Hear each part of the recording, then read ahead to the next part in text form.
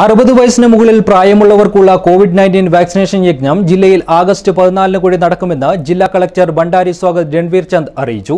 Covid വ്യാപനം കൂടുതൽ ശക്തമായി പ്രതിരോധിക്കാൻ ജില്ലയിലെ സർക്കാർ ആരോഗ്യ കേന്ദ്രങ്ങളിലെ ചികിത്സാ സംവിധാനങ്ങൾ വർദ്ധിപ്പിക്കുവാനും ആരോഗ്യവകുപ്പിലെ മുതിർന്ന ഉദ്യോഗസ്ഥരുടെ യോഗത്തിൽ തീരുമാനമായി. ജില്ലയിലെ മുഴുവൻ ആരോഗ്യ കേന്ദ്രങ്ങളിലും വാക്സിനേഷൻ സൗകര്യം ഒരുക്കിയിട്ടുണ്ട്.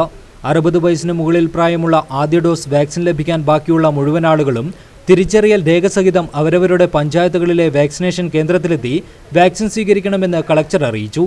കോവിഡ് നയന്റീൻ മൂന്നാം തരംഗം വരികയാണെങ്കിൽ മുതിർന്ന പൗരന്മാരിൽ രോഗം ബാധിച്ച് ഗുരുതരാവസ്ഥയിലാകാനും മരണം സംഭവിക്കുവാനും സാധ്യതയുള്ളതിനാലാണ് ഈ വിഭാഗത്തിൽപ്പെട്ടവർക്ക് പ്രത്യേക ക്യാമ്പയിനിലൂടെ വാക്സിനേഷൻ നൽകുന്നതെന്ന് കളക്ടർ പറഞ്ഞു.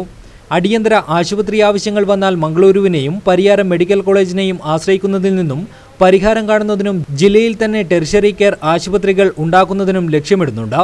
സാമൂഹ്യാരോഗ്യ കേന്ദ്രങ്ങൾ മുതൽ ജില്ലാ ജനറൽ ആശുപത്രികൾ വരെ രോഗികളുടെ കിടത്തി ചികിത്സയ്ക്ക് ആവശ്യമുള്ള സൗകര്യങ്ങൾ വർദ്ധിപ്പിക്കുന്നതിനാണ് പ്രഥമ പരിഗണന നൽകുന്നത്. ഓക്സിജൻ കിടക്കുകൾ ഉൾപ്പെടെ സജ്ജമാക്കുന്നതോടെ പ്രാദേശിക തലത്തിൽ തന്നെ മികച്ച ചികിത്സ ലഭ്യമാകുന്ന നിലയിലാണ് പദ്ധതി തയ്യാറാക്കുന്നത്. ഇതിനായി ജില്ലയിലെ സർക്കാർ ആരോഗ്യ കേന്ദ്രങ്ങളിൽ എന്തൊക്കെ സൗകര്യങ്ങളാണ് വേണ്ടതെന്ന് ആശുപത്രി സൂപ്രണ്ടുമാരിൽ നിന്നും കളക്ടർ ചോദിച്ചറിഞ്ഞു. സാമൂഹിക ആരോഗ്യ കേന്ദ്രങ്ങളിൽ കെട്ടിടങ്ങൾ ഉൾപ്പെടെയുള്ള അടിസ്ഥാന സൗകര്യങ്ങളുണ്ട്.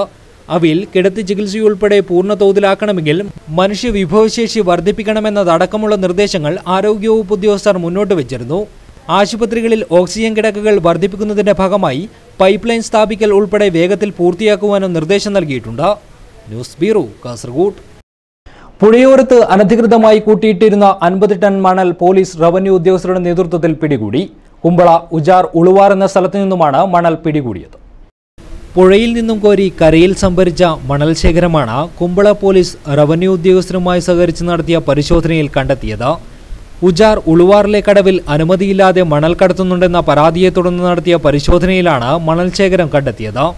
മുൻപ് ഈ പ്രദേശത്ത് പഞ്ചായത്ത് അനുമതിയോടെ മണൽക്കടവ് പ്രവർത്തിച്ചിരുന്നു.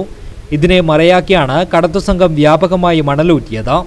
പ്രദേശത്തെ നാല് സ്വകാര്യ വ്യക്തികളുടെ സ്ഥലത്തു കൂടിയായിരുന്നു കടവിലേക്ക് വാഹനമെത്തിയത് ഇത് ശ്രദ്ധയിൽപ്പെട്ട റവന്യൂ സംഘം ഈ നാലു പേർക്കെതിരെയും കേസെടുക്കാൻ പോലീസിന് നിർദ്ദേശം നൽകി. പിടികൂടിയ മണൽ ശേഖരം ലേലം ചെയ്യുന്നതിനായി പോലീസ് സ്റ്റേഷൻ പരിസരത്തേക്ക് മാറ്റി. അനധികൃതമായി മണൽ കടത്തുന്നതിനും സൂക്ഷിക്കാനും റോഡിനുമായി സ്ഥലം നൽകിയവർക്കെതിരെ കേസെടുക്കുമെന്ന് Kumbla C I P Pramod പറഞ്ഞു. Kumbla C I P Pramod S I Aneesh Manjeshwaram tahsildar Bambrana village officer തുടങ്ങിയവരാണ് പരിശോധനയ്ക്ക് നേതൃത്വം നൽകിയത്. News bureau Uppala.